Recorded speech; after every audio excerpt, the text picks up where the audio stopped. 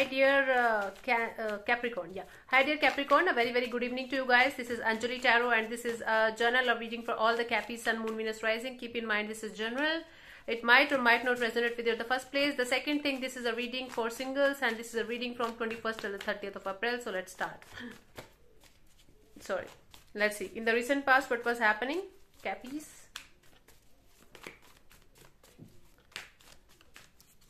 we had the nine of pentacles. So in the recent past you got single. You were super focused on your money job career. You were single you were independent you were focused on money your career your looks everything about you. Creating the abundant and prosperous life for you that was your main fo- uh, ma- main energy focus uh, in the recent past and you became single. You were running away from someone or someone was running away from you. There was a game of uh, chasing and running going on in the situation. And that's why i felt most of you became single. You felt like okay it's not worth uh, your time and energy. And you felt uh, you felt like okay becoming remaining single is uh, eh, like uh, more uh, comfortable than chasing somebody or running away from someone or running away from your own feelings. So you felt like okay at least take a break. If not completely single just take a break. Hmm? For some of you you are single from a very long time like 9 months or 9 to 10 months okay? And you were focused on money job career. Now in the current situation let's see what are your current energies. Whenever i start doing this uh, reading thing you know the the workers the construction workers they start hitting the nails or the wall or something like this. They love me so much. Hmm. let's see. I'm sorry. Please forgive me. Thank you. I love you. Yeah. Current energies are of moving on towards calmer water you're manifesting a very good life for yourself. You're manifesting a passionate brand new beginning a passionate brand new lover in your life. You're in this energy of okay let me choose the best. Let me manifest the best. Okay let me move on towards karma water. Let me be the best first. Let me move on towards karma water. And uh, when i will be able to you know uh, come to this point of peace and uh, calmness within myself let me be with somebody that is equally energetic and that is equally beautiful as me. So you're moving on towards karma water still carrying residual energies of the past with you but still in this energy of okay uh, keep moving on keep moving on kind of right uh, energy right now. Hmm? trying to find the peace within. Let's see uh, what is your energy for a new person or new connection or new relationship sun card. You are gaining a lot of truth and clarity about a past person or past situation and because of the past person and past situation you have become a very very wiser version of yourself right?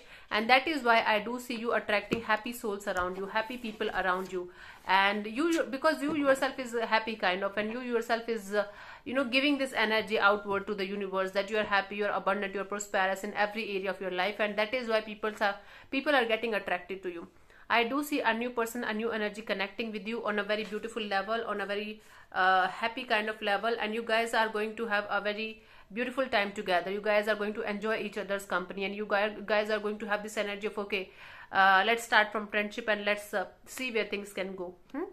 So you're attracting friendship kind of energies from uh, abundant and beautiful people, radiant people happy people. That's really good. Let's see what are your energies for a past person or past connection? If somebody from your past is coming back or interested in coming back let's see. We have the king of wands and the devil two cards we got for you for the past person or past situation.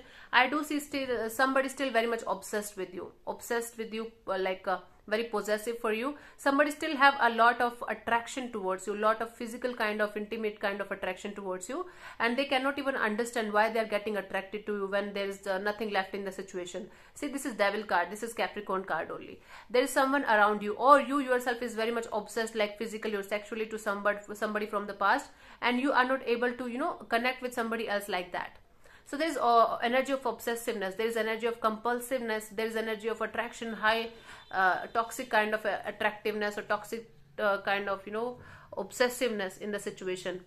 So somebody is obsessed with you or you are obsessed with somebody from your past i do see somebody trying to come back okay trying to connect with you but uh, holding back. Again like ghosting you then trying to come back then ghosting you like uh, going in cycles. Somebody is not uh, able to understand why they still want you when everything is uh, negative when everything is toxic why they still want you. Because of the physical connection the addiction or obsessiveness kind of energy somebody wants you back or you want somebody back.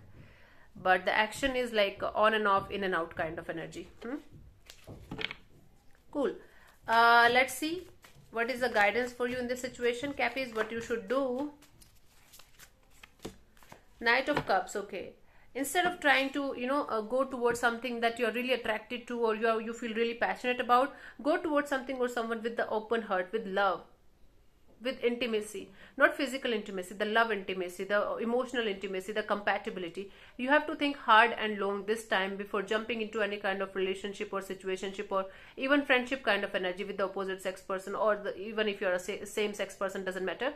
So uh, uh, whenever you are trying to go into a new connection friendship situation uh, relationship whatever you call it you have to think about it long and hard. Do not jump into any kind of relationship or situation or friendship kind of energy just because you're getting attracted or you're having so uh, so much of this energy of you know uh, passion and fire about something or someone. Don't uh, just uh, label it as love if you are just uh, getting attracted to somebody on a physical level and nothing else. Don't label it as love right? So thank you so much for tuning in cappies. I'll see you soon in the next video. Bye bye take care. God bless you. Namaste